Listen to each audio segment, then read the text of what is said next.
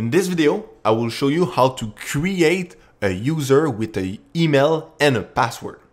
So in the last video, we have create a user with Anonymous and we uh, know how to keep the user login and how to log out the user. But now we will add a button. So you will see uh, two text field where we can put the email and the password, a text place where we will display the error if we have some, and then you will see a raised button as well on this login page. So we have quite a lot to do on this one. Okay, so first of all, inside the login page, we will need to go over the right raised button and we will need to refactor with a column. Okay, so I will refactor and for refactor, it's uh, you can press Control dot as well with a column. That's good. So next thing we need to add is a text field, a place where we can add some text from the user. So as you can see, I have add a text field and then you can write some text inside. So that, that is pretty nice. Next step, we will need to add uh, inside this, this text form field. So, oops, sorry about that. I will just move that on the side. Okay. And in this text form field, we will add a constructor. So, oops, the constructor, where it is, control space and controller. Perfect. So, the controller, yeah. Okay, and how to add the controller? First of all, we will need a stateful widget instead of the stateless widget because uh, the error message will need to be updated right after the, the text form field if we have some error message. So we need a stateful widget instead. So we right click on it and we say refactor and convert to stateful widget. You can press control dot as well to refactor. Okay, we have our stateful widget. Now under the class extend, right before the future login ano, we will need to add our controllers. The first one will be the text controller, uh, text editing controller, and we will call it the controller email. Good. And this will be equal to the text editing controller with the parentheses. Okay, so the text editing controller is the type, and then we are declaring the text editing controller after the equal sign with the bracket at the end. Okay, I will copy this one and I will paste it. So we have two controller. So this one will be for the password. The text editing controller is to have the value of the user input. Okay, so we add inside the, after the argument controller, we add the controller email. And now we can write some text and everything is good. Okay, we will copy this one and we will paste it right under. Okay, now we can see that uh, we will need to change the controller to controller password and uh, we will have another text field, but we will need to add the other comma as well right here. That's good. So we have two line, two line of code. One is for the email and one is for the password. But if we want to display something to, to tell the user, is it the password or an email? What do you want in this? We add the argument decoration, the, widget input decoration, and after an argument int text. And this will display some text on the screen before the user enter his input. So as you can see, we have the email information right here. And when the user writes something, the email disappears. But we can use even something even better. And this one is the um, labeled text. So the label text will display the information first. And when the user writes some text inside, write the input, the email will just go on the top. So the information will go on the top. So the user always know what is inside this text field. That's good. So we can copy this decoration argument and paste it inside the other text form field. But now we will need to change the value of the label text by password on this one. That's good. So we have our two text form field and now we can uh, get the information of what the user have input with the controllers that we have add. Then we want a text widget to display some error if we have some. By example, if the user, uh, if the email it's not valid, we will have an error. If the email, uh, if the password is not enough long, we will have an error. So we will create a variable for this text value, and the variable will be the string. First of all, it will be a string and it will be called error. Perfect. So we will display the error inside this text field. And as you can see, the error is currently null. So we will need to initialize error with an empty text. Just like that. So when we start the application, so if we restart the app, we will see that there is no text to display because it is only an empty field, empty value. That's good, but when we will have error, we will see it. After, we need a raised button. So we can copy this one, the one for the login anno. We can paste it right under and change the value for create a user, by example. Okay, so that's good. Next step that we will need to do is to create our other function. So we have a function for the login, but we will need a function for the create. So let's say a future of void. And this one, let's call it create user.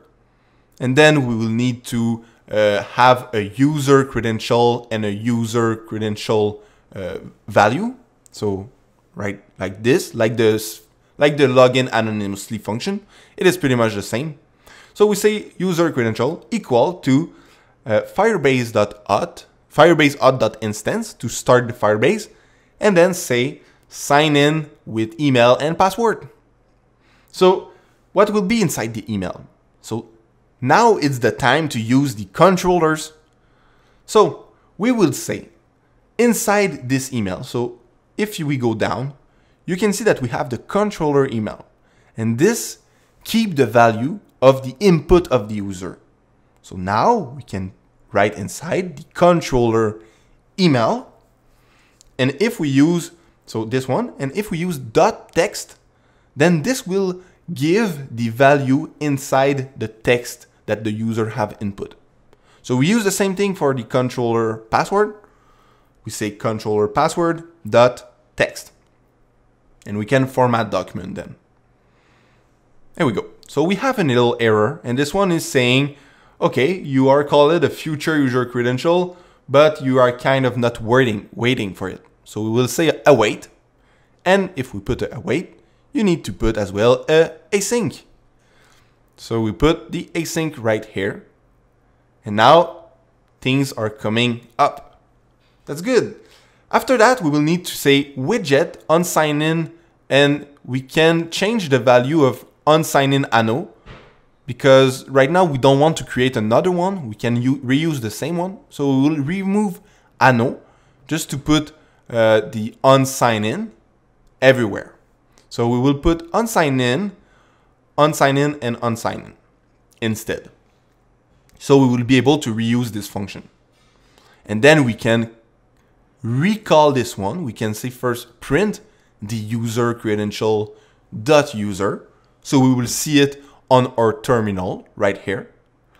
That's good. So we put the comma, the semicolon, sorry. And then we say widget dot unsign in. So because we are recalling the unsign in. And the widget is because this is inside the other class.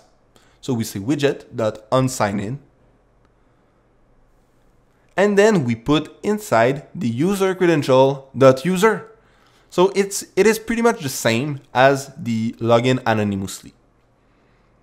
Okay. After that, what we can see is um, that's pretty much good. So okay, next step, what we will need to do is uh, right before the uh, user credential, we will need to try it and if it fell, then put something else. So we put everything inside our try. And then in the catch, we will catch what can happen if the user display wrong information. So we will say on Firebase auth exception. So if there is an exception of Firebase, then do this.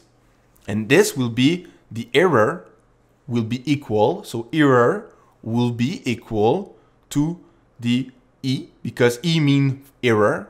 So will be equal to the error dot message. So the error will refresh inside our screen and we will actually see the error. So when we press on login, on create user, we can see that we are login. This is because we, uh, we are not using the create user function. So we'll use this one instead. Okay, I will log out. And then when we, we click on create user, we are still logging inside the application. So that is pretty weird. I will just restart the app. And if we check this, create user, sign in with email and password, everything seems pretty good right now. So if I click on it, it's still logging. Why?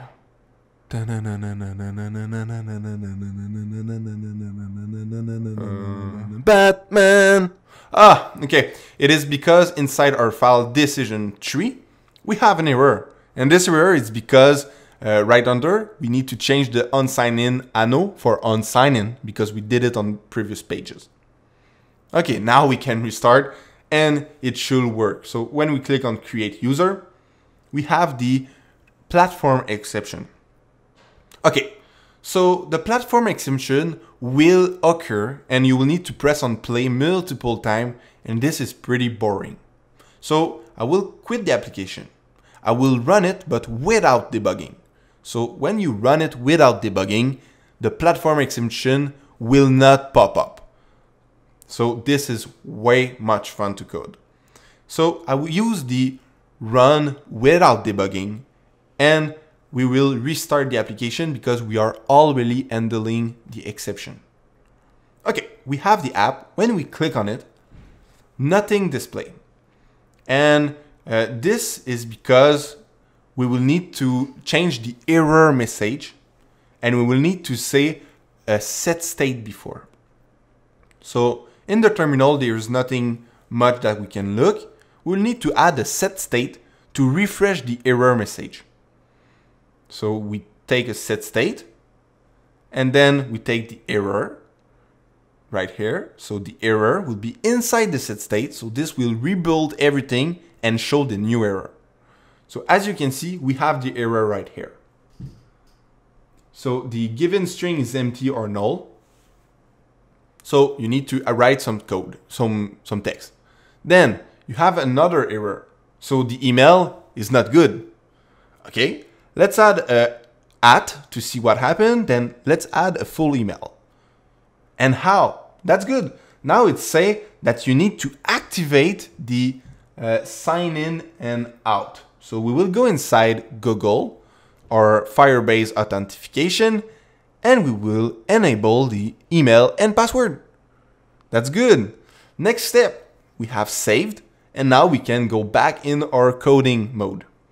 So if I press again, what we will see is uh, the user is not identifier. So the user is not existing. And this is because we are using the function sign in with email and password.